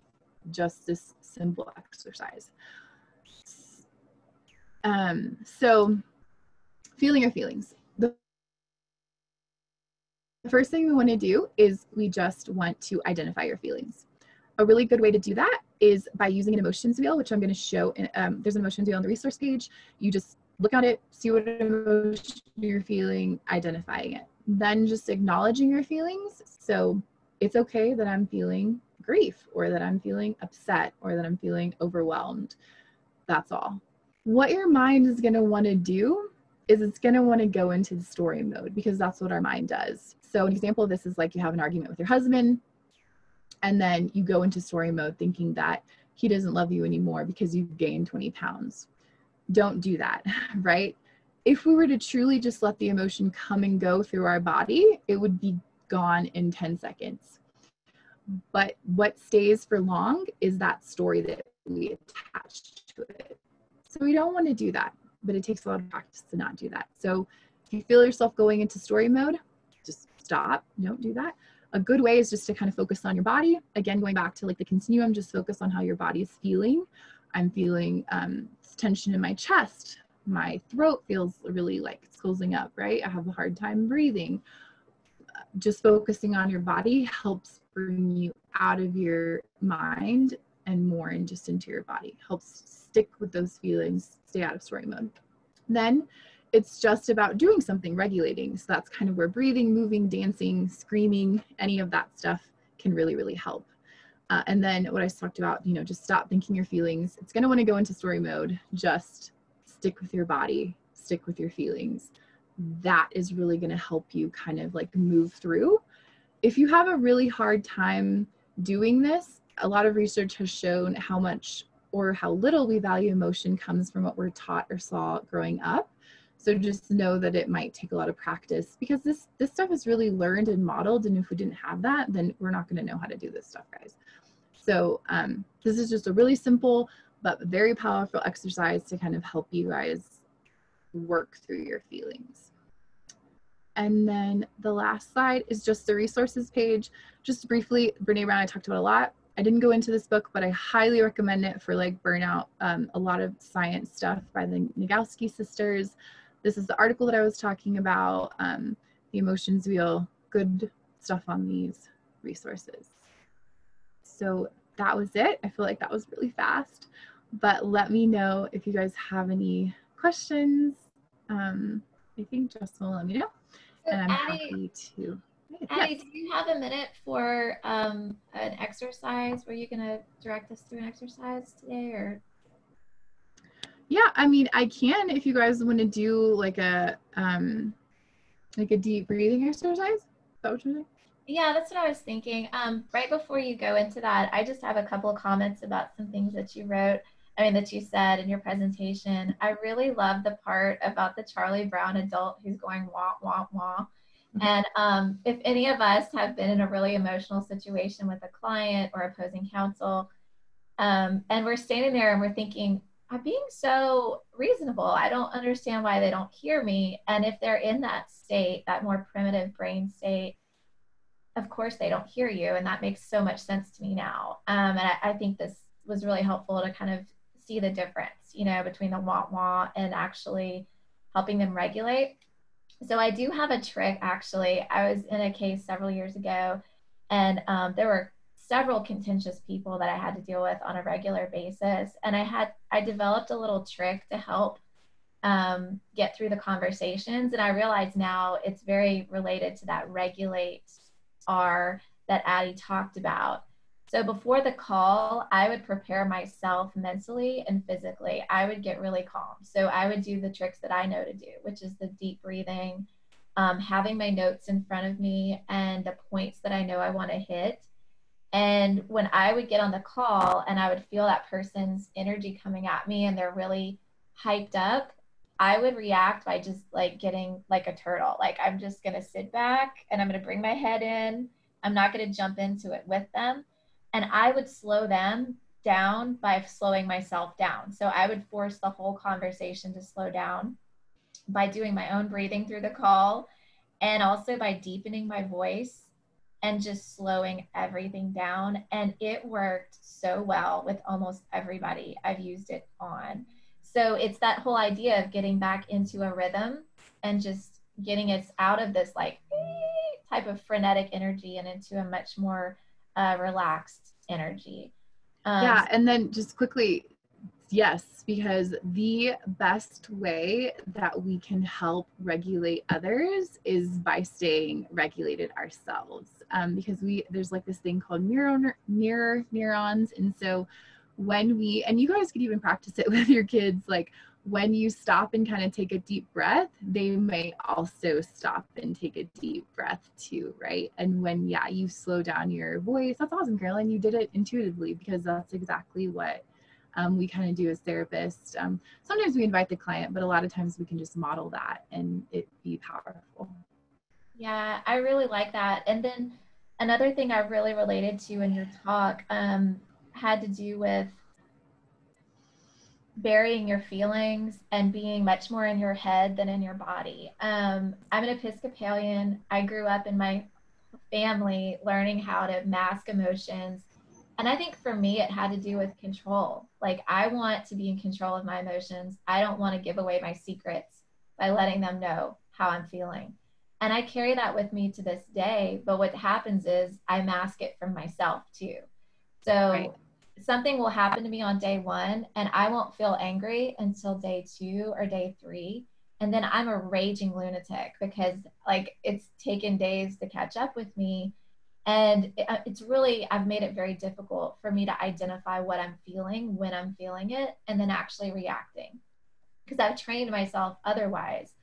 And I've noticed um, one of the positives out of COVID has been how much time I've been spending outside and how much time I've been spending exercising um, because I feel so much better. And it goes back to that regulation, right? If we get into a rhythm of walking or swimming or um, just a rhythm that is outside of our, like getting us out of here and back into our bodies, it can be a great way to cope with stress and to get us back to that calm state instead of being in the fear and the um, what was the other state? I can't remember, but um, the like afraid. Yeah.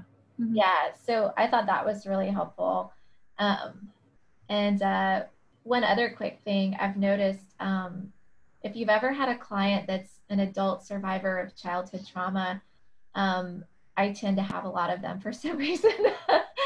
um, we'll talk about an issue several times, you know, and I'm thinking they're getting it. And we have to have the same conversation a month later and a month later and a month later. And it goes all back to that what state are you in and where can you reason and accept information? Are you in the alert and the reasoning state, or are you down here in this? I'm reliving childhood trauma from 20 years ago all the time. And um, I think if we understand that about our clients, we don't get so frustrated with we just had this conversation last week or last mm-hmm. month. I put a I put a memo together. Why don't you understand what I'm saying? And this is helping me understand. Maybe I just need to repeat it a few times. Maybe they're just not in the state where they can even understand what's going on. So, but yeah, definitely. So yeah, thank you so yeah. much for your calls. Um, I don't see any questions either. Um, do you have possibly um, a five minute or three minute deep breathing you want to do? If not, yeah, yeah, yeah, I can. We can do that. Um, so we can. I'll just walk you through uh, a progressive muscle relaxation. This is one of my favorites that I really like to do, and the reason is that going back to like the brain and everything when we're in that afraid state and our body is kind of taking over, we uh, tend to really tense our muscles. So you might have experienced this where, excuse me, you've gone through something and then you come home and you feel like you ran a marathon, but you really didn't do anything, but your muscles just feel so darn tight. Uh, that's because when we're in that afraid state, our, we tense our muscles naturally, right? Because we're getting prepared to fight or flight this thing that's probably not there, but that's what our mind feels like. So our muscles feel really, really tense. So this is a really good one to do at the end of the day, specifically before you go to sleep. PMR really helps uh, you do that. And you can do it just by doing it um, to yourself or just search YouTube progressive muscle relaxation in my resources. I have a really good one that you can do as well. So I just want you guys to kind of sit um, in a comfortable position. And if you want to shut your eyes, you can do so if you feel comfortable. And then let's just begin by taking a really uh, big, deep breath in. And kind of noticing the feeling of air filling your lungs. And hold it for a few seconds. And then release the breath slowly. And just feel that tension kind of leaving your body. And take in another really deep breath and hold it.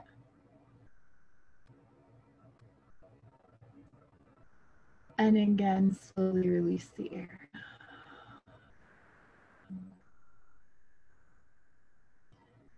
And now I just want you guys to move your attention to your feet and just begin to tense your feet by gently curling your toes and the arch of your foot. And just hold on to that tension and notice what it feels like.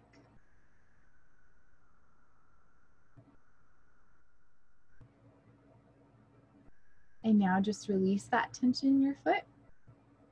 Just noticing the new feeling of relaxation. And now I just want you guys to move up to your lower leg. And I just want you to tense the muscles in your calves. Hold them tightly and pay attention to the feeling of tension.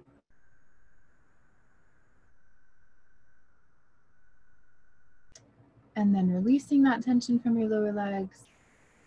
Again, just noticing the feeling of relaxation. Remembering to continue to take those deep breaths. Then I just want you to tense the muscles of your upper leg and pelvis. You can do this by tightly squeezing your thighs together make sure that you guys feel the tenseness without going to the point of strain.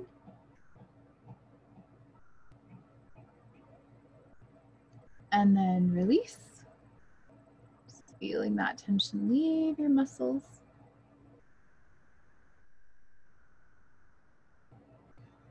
And now begin to tense your stomach and your chest. And you can just do this by sucking your stomach in, so pulling your belly button all the way in kind of squeezing harder just to hold that tension just a little bit longer.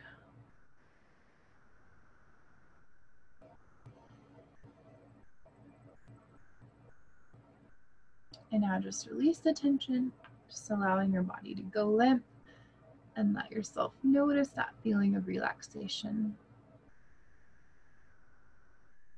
Just continue taking those big, big, deep breaths. Breathe. Notice yourself breathing in slowly. and Hold it and then breathing out. And now just tense the muscles in your back, bringing your shoulders together behind you. Your hands go like this. And just hold them tightly tense them as hard as you can, but without straining. Keep holding. Really, really want to feel that tension in your body.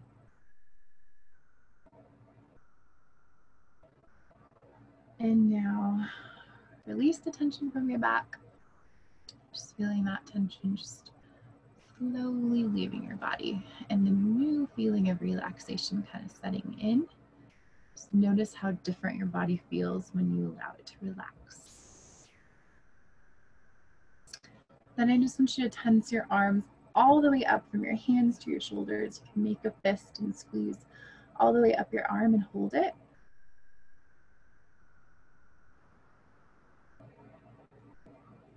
And then release the tension from your arms and shoulders. Just notice the feeling of relaxation in your fingers, your hands, arms, your shoulders, You Notice how your arms just feel really limp and at ease. Now I want you to move up to your neck and head. We hold a lot of tension in our face. So I want you to tense your face and your neck by distorting the muscles around your eyes and mouth. Just doing like this. Don't worry, nobody sees you. Just hold the tension. And just release and kind of just release.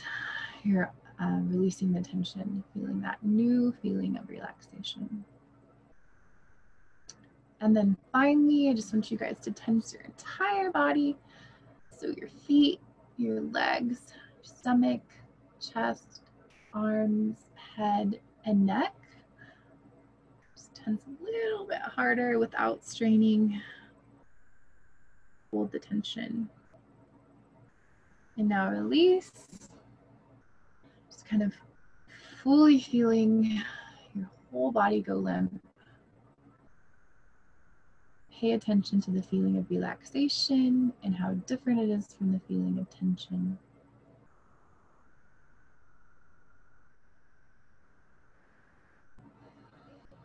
And when you're ready, just slowly begin to wake your body up by slowly moving your muscles, just adjusting your arms and legs. And opening your eyes when you feel ready. Uh, that's just an example of PMR. There's tons of progressive muscle relaxation stuff out there. You can do it on your own or just listen to a video.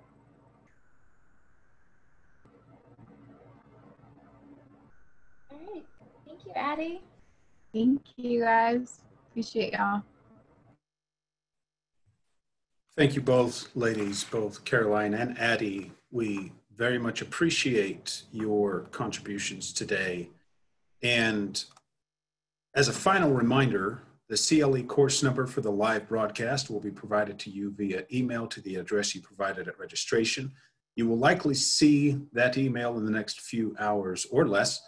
If you do not receive that required information to self-report your participation in the CLE, please email me directly traffic lawyers of texas online at gmail.com no abbreviations. If you are participating in the cle on demand as a reminder you will receive instructions via email to the address you provided on at registration for self-reporting and uh, at the with the online uh, on-demand cle course number upon completion of the online on-demand option we appreciate all of our panelists today. We want to give a very uh, heartfelt thank you to Kelly McMahon for facilitating and also Cynthia Owens and all of the board members that made this broadcast possible. We very much appreciate all of the effort that went into making this such a success today, and we look forward to seeing everyone in January 2021 in Austin at our live CLE. Thank you very much.